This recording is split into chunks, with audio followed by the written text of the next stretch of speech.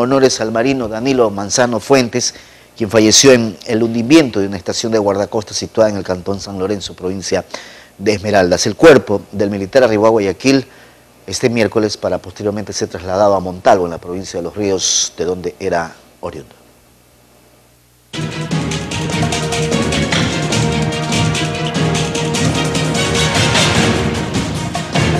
Hasta las instalaciones de la base naval sur en Guayaquil fue trasladado el féretro del marino fallecido, recibido con todos los respectivos honores militares. Pasó lento hasta ubicar el ataúd en esta capilla ardiente, en donde se ofició una misa, en la que estuvieron presentes familiares y amigos del occiso.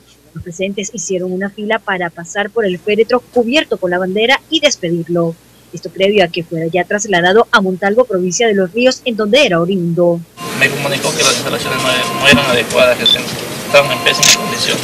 Por otro lado, el contraalmirante Carlos Vallejo, director nacional de espacios acuáticos de la Armada, habló de lo ocurrido y del estado de la infraestructura en general de las estaciones flotantes. Tres estaciones eh, de guardacosta móvil, estas fueron construidas en el año 2009.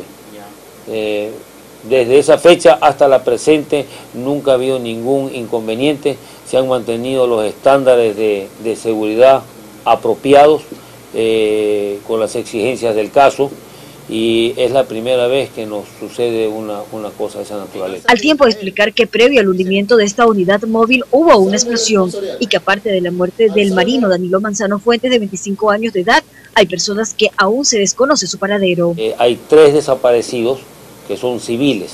Eh, ¿Qué hacían los civiles ahí? Ellos estaban, eran en total de cinco, eh, y los civiles se encontraban haciendo eh, un trabajo de mantenimiento eh, en, la, en la base móvil de acuerdo a lo que estaba programado. Y aunque aún no se establecen las causas que generó este accidente, hubo una explicación. La explosión es acá en la obra viva, ¿no es cierto?, bajo la línea de flotación, porque para que se haya hundido, aquí se produce el orificio y esto hace que la, que la estación flotante Segunda. Esta estación de guardacosta móvil se encontraba situada en el cantón San Lorenzo, en el río Cuyaveno, provincia de Esmeraldas. Al momento de la tragedia se encontraban 27 personas a bordo. Tras lo ocurrido, las autoridades de la Armada del Ecuador ya designaron una comisión de investigación para conocer las verdaderas causas que generó este accidente.